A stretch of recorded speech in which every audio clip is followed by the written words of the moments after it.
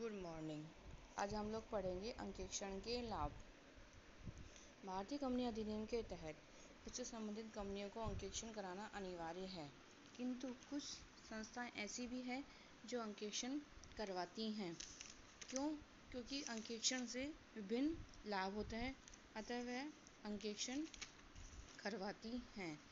अंकेक्षण के अंतर्गत फ़र्स्ट लाभ है हमारा अनुशासन को कायम रखना।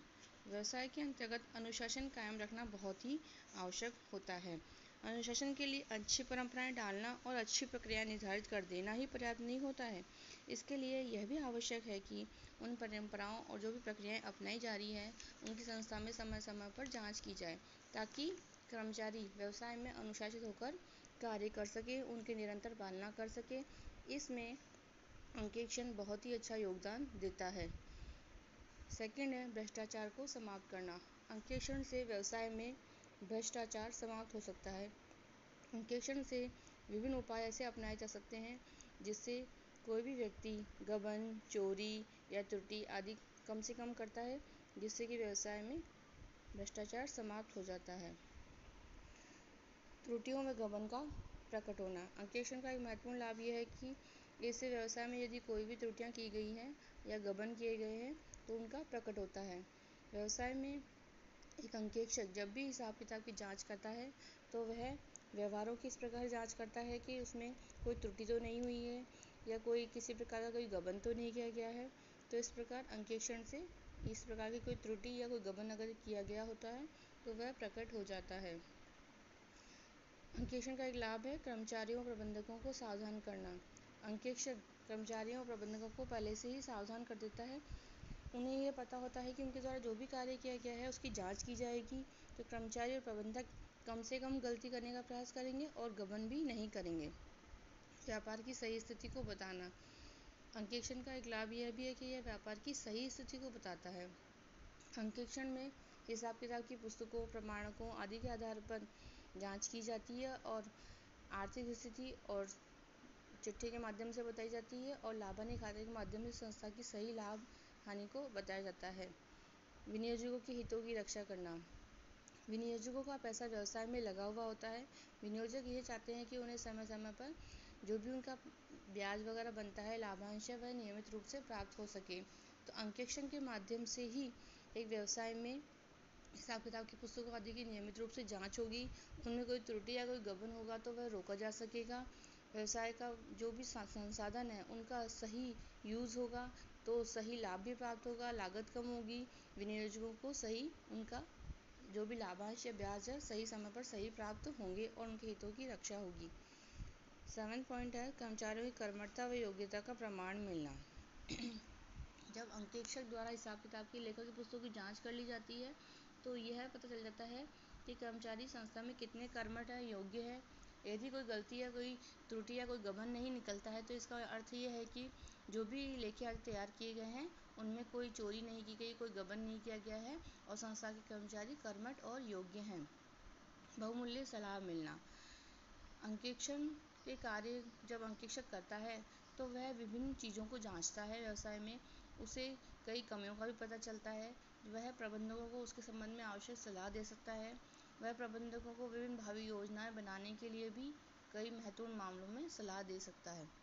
अंकेक्षण की मर्यादाएँ। अंकेक्षण कार्य जब किया जाता है तो उसमें विभिन्न उसकी मर्यादाएँ हैं। उन मर्यादाओं को भी हमें ध्यान में रखना बहुत ही आवश्यक है। फ़र्स्ट है, अंकेक्षण सौ परसेंट शुद्धता की गारंटी नहीं है।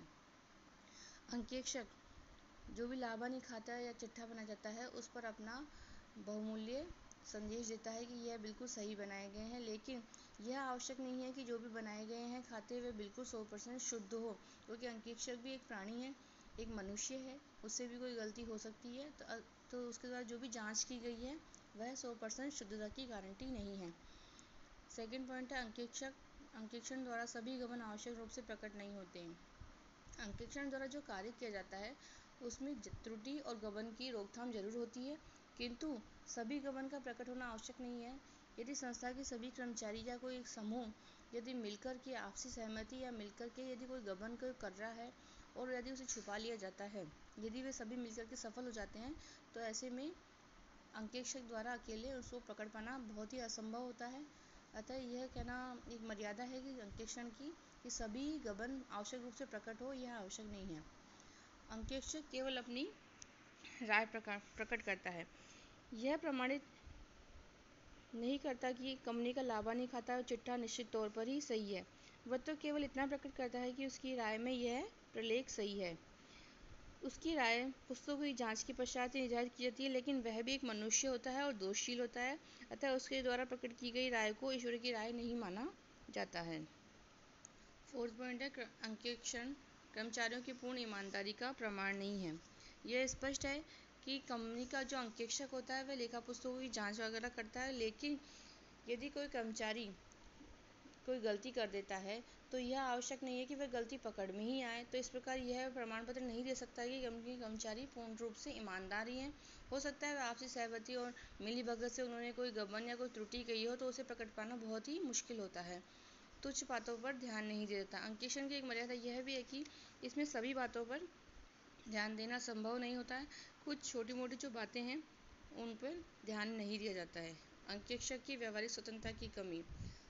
अंकेक्षण की एक मर्यादा यह भी है कि अंकेक्षक यद्यपि एक भारी व्यक्ति होता है, किंतु उसका पूर्ण रूप से स्वतंत्र होकर कार्य कर पाना अत्यंत ही मुश्किल होता है, वह प्रबंधकों के प्रभाव में होता है।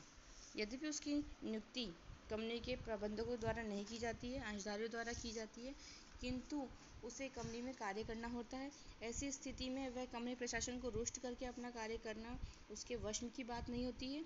अतः व्यवहार में वह पूर्ण निष्पक्ष जाँच नहीं कर पाता है। अंकेक्षण की अवधारणाएँ। अंकेक्षण की फ़र्स्ट अवधारणा है, अंकेक्षक की स्वतंत्रता की अवधारणा। फ़र्स्ट अवधारणा में ये बताती है, अंकेक्षक एक बाहरी व्यक्ति होता है, उसकी नियुक्ति अंशधारी द्वारा की जाती है। वह किसी भी कंपनी के जो भी प्रबंधक हैं, उनके प्रभाव में उसकी नियुक्ति नहीं की जाती है। उनके द्वारा या उनके साझेदार द्वारा उसकी नियुक्ति नहीं की जाती है। कंपनी अधिनियम की धारा 1913 के अंतर्गत इसकी नियम, नियुक्ति के प्रावधान दिए गए हैं। उन नियमों के अनुसार वह व्यक्ति कंपनी अंकेक्षण का कार्य के लिए अयोग्य माना जाता है, जिसकी नियुक्ति निम्न प्रकार से की गई हो, जैसे कंपनी के किसी अधिकारी या कर्मचारी द्वारा, या कंपनी के किसी अधिकारी या कर्मचारी के साझेदार के द्वारा, या कंपनी के एक हज़ार रुपये से अधिक के ऋणी। यदि होता है ऐसी दशा में उनके द्वारा नियुक्ति नहीं की जाती है। सेकंड है, सारभूतता की अवधारणा। सारभूतता की अवधारणा यह यह बताती है कि अंकेक्षक का ये स्वयं का निर्णय होता है कि वह ये निर्णय ले कि कौन सी मद अधिक महत्वपूर्ण है तथा कौन सी मद तुच्छ होती है। एक अंकेक्षक को सारभूत मदों के लिए उचित और विश्वसनीय आंकड़े एकत्र कर लेने चाहिए। कोई भी एक मत किसी समय सारभूत या तुच्छ भी हो सकती है। असल वस्तु की सारभूतता के संबंध में निर्णय करते समय उस मत के प्रस्तुतिकरण और वर्गीकरण पर निर्भर करना पड़ता है। कुछ दशाओं में मदों की सारभूतता दर्शाने में प्रतिशतात्मक तुलना लाभकारी होती है। जैसे कंपनी अधिनियम की धारा की कंपनी अधिनियम 2013 की धारा अनुसूची थर्ड में यह अपेक्षा की जाती है कि यदि कोई भी खर्च आयगत आयगत मद के एक प्रतिशत से अधिक होता है अथवा पाँच हज़ार रुपये दोनों में से जो भी अधिक होता है का स्पष्ट प्रकटीकरण करना अनिवार्य है। यह प्रकटन लाभ हानि खाते के शीर्षक में किया जाना चाहिए। इसे उसी मत के साथ अलग से दिखाया जाना चाहिए। उसे विविध व्यय शीर्षक में नहीं जोड़ा जाना चाहिए। नेक्स्ट है। सही व उचित की अवधारणा। लेखांकन विवरण बनाते समय अंकेक्षक को खातों का सत्यापन करना पड़ता है। सभी संपत्तियाँ, दायित्व, आय, व्यय आदि जिसका भी उल्लेख या विवरण किया गया है, वे लेखांकन सिद्धांतों के अनुरूप हैं या नहीं, नीतियाँ प्रासंगिक हैं। तथा किसी भी सार्वभूत राशि को अथवा लेन देन को छोड़ा तो नहीं गया है। भारतीय कंपनी अधिनियम 2013 की अनुसूची थर्ड के प्रावधानों के अनुसार कंपनी के खातों द्वारा सही व उचित तथ्य प्रकट किए जाने चाहिए। अतः अंकेक्षक को ये देखना चाहिए कि खाते कंपनी अधिनियम की अनुसूची थर्ड के प्रावधानों का पालन करते हैं या नहीं। साथ ही साथ उसे ये भी देखना चाहिए कि किसी सार्वभूत संपत्ति को छोड़ा तो नहीं गया है, किसी सार्वभूत दायित्व को छोड़ा तो नहीं गया है। लेखांकन की नीतियाँ एक रूप है या नहीं है? आदि। फोर्थ पॉइंट है लेखांकन नीतियों के प्रकटीकरण की अवधारणा। यह अवधारणा बताती है कि लेखांकन की जो भी नीतियाँ आदि अपनाई जाती है अंकेक्षण में उन नीतियों का प्रकट किया जाना आवश्यक है। जैसे कि हास के अपलेखन की कौन सी विधि अपनाई गई है, इसका लेखा किया जाना आवश्यक है। ख्याति के उपचार किस प्रकार किया गया है? सेवानिवृत्ति के लाभों के संबंध में कौन से नियम हैं? इन सभी जो भी इन व्यवहारों संबंधित जो भी लेखांकन नीतियाँ होती हैं, उनका पूर्ण प्रकटीकरण किया जाना चाहिए। इसके साथ साथ और आधारभूत हमारे लेखांकन की मान्यताएँ हैं, वे भी सेम अंकेक्षण में यूज़ की जानी चाहिए, जैसे चालू अवधारणा। चालू अवधारणा बताती है कि व्यवसाय एक लंबी अवधि के लिए है, यह निरंतर चलता रहेगा ये एक अनवरत चलने वाली प्रक्रिया है ये चलता ही रहेगा। सेकंड बी पॉइंट हमें बताता है एक रूपता एक रूपता यह मानी जाती है कि लेखांकन नीतियों में प्रतिवर्ष परिवर्तन नहीं होगा, उनमें एक रूपता रखी जाएगी। एक अवधि में जो नीतियाँ अपनाई जाएँगी सेम दूसरी अवधि में भी उन्हीं नीतियों का पालन किया जाएगा, जिससे कि तुलनात्मक अध्ययन करते समय उनमें एक रूपता रह सके। सी पॉइंट है उपार्जन। उपार्जन अवधारणा यह बताती है कि जो भी आय और व्यय होंगे, उनका लेखा उसी वर्ष से संबंध में किया जाएगा, चाहे उनकी खर्च या उनकी प्राप्ति किसी भी वर्ष से संबंधित हो। Thank you